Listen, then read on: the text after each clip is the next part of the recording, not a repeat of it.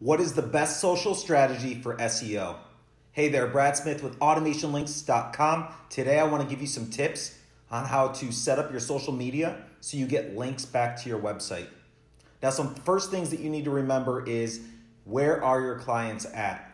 You need to come up with a strategy and see are all my clients on LinkedIn? Are they business owners? Uh, most of my clients on YouTube? Are they watching videos? Find out the age and demographic find out what they're interested in, and then you can narrow it down to one or two social media platforms. Next thing we always recommend, even doing this on your website, right? Know how you're gonna help these people. This is the content you need to be putting out there. Helpful content that'll help your clients. They're looking to lose weight, give them tips every day how to lose weight.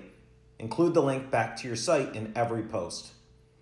If they're looking to get healthy and they're in pain, give them options, give them tips on how to fix their pain and get better and then include links back to your site. Now, talking about links, I don't mean just put your website homepage in every single post, right? I want you to create relevant links back to your site. So if you're talking about a certain product, link back to that product. If you're talking about a certain blog that you wrote, link back to that blog. Make sure the links are relevant. Another thing to remember is when you post your information on social media, it's gonna show up in the search engines. Like when we post this video to YouTube, it's gonna show up in YouTube for the keywords that we're talking about.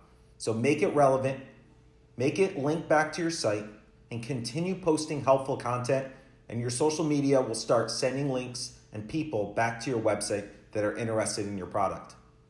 Now, we all know social media is for building your brand, getting your name out there, but it can also help build up your website ranking in the search engines.